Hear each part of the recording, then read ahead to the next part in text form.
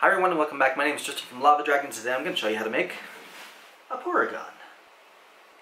Alright, so I want to show you guys really quickly how I'm doing this using these two different monitors. So this one over here, that one right here, this is actually a PDF that you guys can download and it comes with all the instructions and you just cut out the pieces and glue them together and everything like that. I still recommend that you guys get this program though. This is called Pepakura and there'll be a link to this in the description as well. But the nice thing about this is it actually shows you how the pieces fit together. So like we can select this piece right over here, and we can see that it goes right here. This is the base of the head. Or we can click on this one, and we can see that's the top of the head. And so on. We can see where the eyes go, we can see the body, we can see everything else. And it just helps the entire process go a little bit more smoothly, and it's a little bit easier to work with. And like I said, you can take the model, you can spin it around and everything else. So while we're here, let me tell you really quickly what this program is. Uh, like I said, it's called Pepakura, and what it does is it takes 3D models and it unfolds them. So you can kind of think of it as something like, I don't know, origami, but instead of creating like little folded shapes, we're actually taking bigger shapes and folding them and gluing them together and making 3D models. So Porygon's going to be a really easy one to work with here because it already kind of has that same you know, polygonal shape. And when we're finished with it, you'll be able to see, you know, a lot of times these will kind of keep that same video game-esque style or look to them, or at least kind of an older video game style because there are a lot of polygons in here. But that being said, let's go ahead and put this guy together and we'll get started. Now, the neat thing about this particular hobby is that it doesn't really require a lot of tools. First thing you're going to need to do is take that PDF or the Pepakura file and print it out. So we have that right here. You're going to need something to cut with. We have a few options here. We have some good scissors. You can use just any other kind of scissors as long as they are very uh, sharp and you're able to cut small pieces with them. I personally like using an X-Acto knife just because it's a little bit easier and you get a little bit more control over it. I also actually have my uh, utility knife which I use for work and it actually does a really good job as well. It helps to have something to cut on so I have my uh, cutting board right here. It also helps to have something small and thin that you can use to, to fold the pieces over so I'm actually using a dull razor for my knife right here. Or I also have, for larger folds, this, which is actually one of those things that you put at the base of a door, so that when people kick it trying to open it, then it doesn't damage the door. So I'm using this as well. And then the other thing you're going to need is something to actually keep the pieces together. I tried everything from Elmer's glue to like tape, and what I found works best is just a good old-fashioned hot glue gun. So this is my little $4 hot glue gun that I picked up over at Hobby Lobby. And then I have a crap load of, uh, and then as you can see I have a whole bunch of uh, glue sticks just to be safe. So the first thing that we're going to do is we're going to take our pieces here and we're going to start cutting them out. So I'm going to change this camera angle a little bit because I can't even reach the pieces.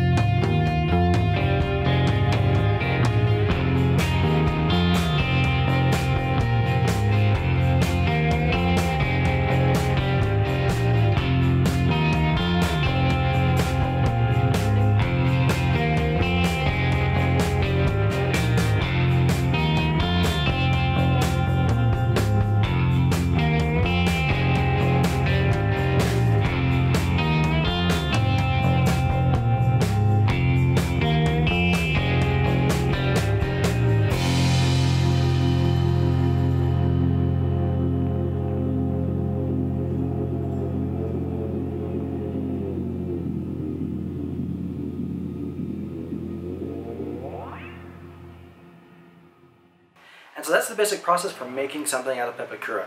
It's very, very easy, it's very, very simple, it's fast, it's actually pretty fun. Be careful with your hot glue guns, I'm not sure if you guys can see it, I can't move it any closer for it to zoom in, but I burnt myself pretty good. Personally, I've made everything from Pokemon all the way up to an entire R2-D2, which was pretty fun. In fact, I'm making another one right now. I have a Magikarp, I have my bronze Charmander statue, and now I'm adding a Porygon to the list. It is now outside drying because I put some plastic dip on it.